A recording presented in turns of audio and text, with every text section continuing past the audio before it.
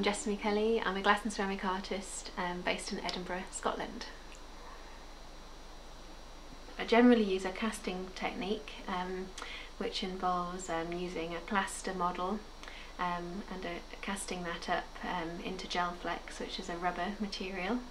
Um, I cast plaster and flint around that to make a refractory mould um, the Gelflex is taken out and um, I pack that mould with a glass and ceramic mix um, using different colours and different grades of ceramic frit and uh, it all gets kind of pushed together and put in the kiln. The glass comes out and I break away the mould and I get this lovely glass form and usually I'll work on that a little bit so I might use a grinding grit um, I might use grinding wheels and um, lathes and diamond cutting machinery to kind of cut through the material and finish it. And then the, the absolute final um, section is either to sandblast it and make it a matte finish or to polish it and make it a clear um, kind of gloss effect. So kind of two different ways of doing that. I'm inspired by um, the materials of glass and ceramics and the way that light runs through the materials. Um, they, they kind of do very different things. Um, the ceramic has a kind of a translucent effect when light hits it and glass obviously has a kind of a an effect that, that kind of throws the light away from it, it kind of reflects and refracts light.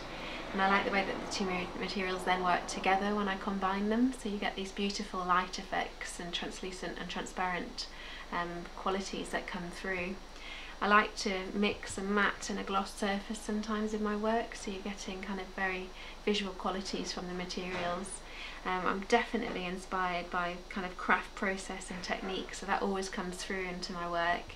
But also I like to use um, different inspirations, so I might look to landscape or sculptural form to, to start my work. Um, and this time I've looked to icebergs and melting ice, which I think are very um, linked to the way that glass and ceramic can melt together and the colours that I use. I started working with ceramics um, actually at school, um, probably since I was about five years old. I was very lucky, I had a very um, arty upbringing and I always thought I was going to be a ceramic artist uh, and um, a course of glass and ceramics came up at Sunderland University.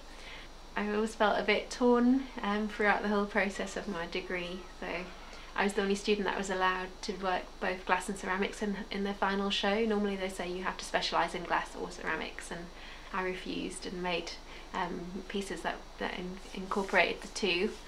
Um, but I never actually managed to incorporate them in a hot state. They were juxtaposed in a cold state and that always niggled me.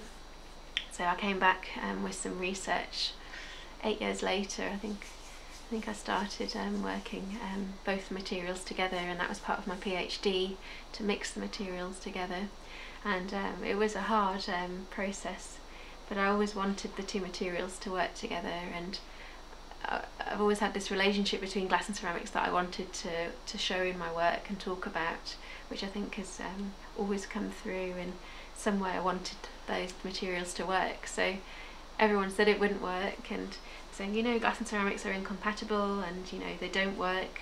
Um, ceramics shrink, glass expands when you eat it, they're doing completely different things chemically, you're crazy. And I said, oh, I think I think I might be able to get it to work. Um, I've read I've read some books around the area and there's some things going on with spaceships and cooker hobs that might work called um, glass ceramic and I'm not obviously that technical but I think I can do it in the studio um, so a material scientist came to help me and we worked out this material.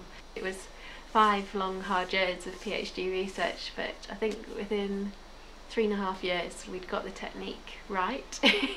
There's a lot of failures along the way but um, this material is now mine to use as an artistic um, medium really so I'm really lucky that I had that support and opportunity with my PhD and that I've now got this kind of unique material that, that and process which is all my own.